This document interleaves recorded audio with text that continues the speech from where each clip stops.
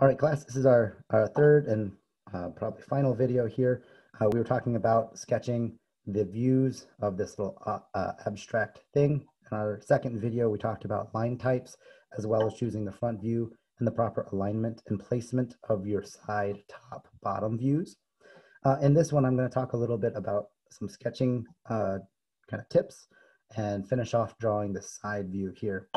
the first thing you'll notice that we talked about was using a wooden pencil. Um, I would encourage you to uh, move your paper around as you see fit. Uh, as you're sketching, you will naturally want to bend at your wrist and make lines. Okay, now when you do this, this becomes the pivot point right here, and you're essentially drawing a curve whose radius is equal from the wrist to your pencil point. As you try to do this, you will make lines that are slightly curved instead of lines that are straight. If you instead try to keep your arm straight, keep your wrist straight and move your whole arm, you will get lines that are much more straight. Okay, so as you try to do this, try not to bend at the wrist, but instead bend at the shoulder and move your whole arm, which is locked, right? now, it is, as you practice this, you should draw lines in different orientations. You will find that uh, in the orientation I'm standing in right now, it is easy to draw lines in this direction. It is a little bit more difficult to draw lines in this direction. Therefore, when you need to draw lines, rotate your paper so that you're always moving your arm this way, but the paper is moving so that you can draw different features and different orientations. Okay, does that make sense? So what do we need to finish off here? We need, excuse me, this little notch cut out. So I'm gonna measure it off here. I like to mark off faintly where are the ends of my features and then literally just connect the dots. As we talked about the last video, I like to go back and forth touching the tip and then slowly drag the pencil so that I can get practice in moving the line where it's going to be and then slowly and faintly add it, okay? Now, now that I have my construction line here, I can make this nice and dark.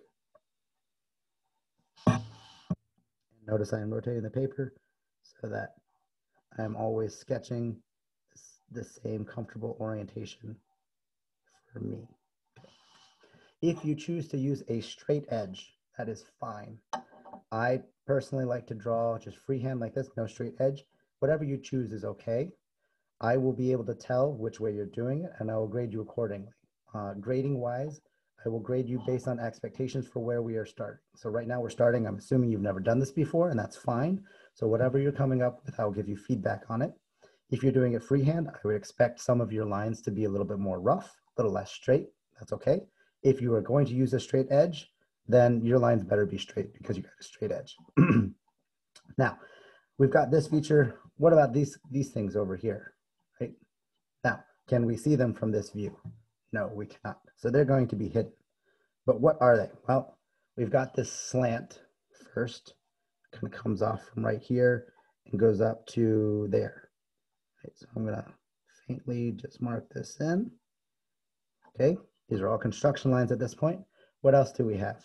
We have a curve that goes up to a flat section, and then we have this whole flat section here. So where's that flat section? Well, we should we can measure this. I'm going to say it's right here. Also note it should align with your front view because all the features are there. It's the same object, right? So it should go up here, and it's this thick. So we're going to have this wall right here, right? This wall is going to come all the way down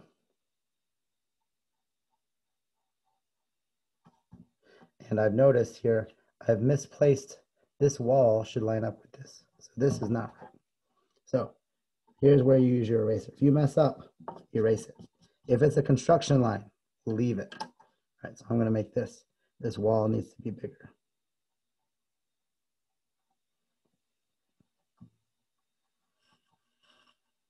Okay, so now I have this wall.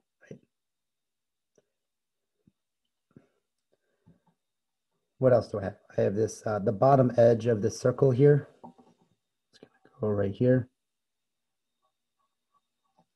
Okay, what else do I have? I have, uh, oh, this wall extends out here until about even with this edge. So even with this edge, it comes out. So this wall keeps going. And then it connects to where? Where does it connect?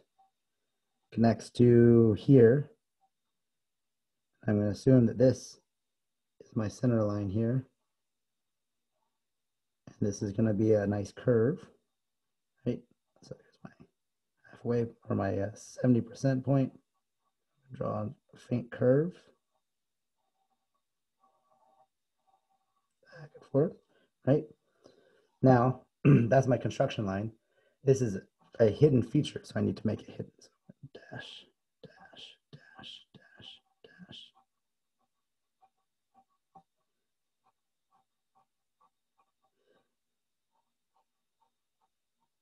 Right. Okay. Now, you have all, you know, I say, oh, there's all this craziness. Now, let's talk a little bit about this. Remember our line types. Visible lines take precedence. So I have this visible edge here. You can see this. That's here. It happens to overlap with this edge, which is hidden.